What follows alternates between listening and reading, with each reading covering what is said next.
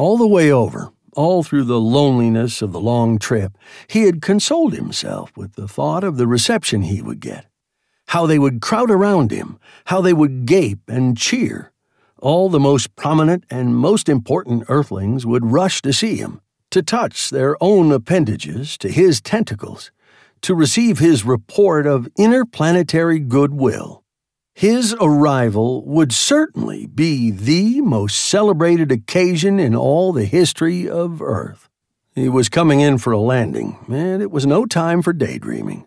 He brought the ship down slowly, in the middle of a large square, as carefully as if he were settling down among his own people. He gave them a chance to get out from under him before making contact with the ground. When the ship finally rested firmly on the strange planet, he gave a sigh of relief, and for a few long seconds sat there motionless.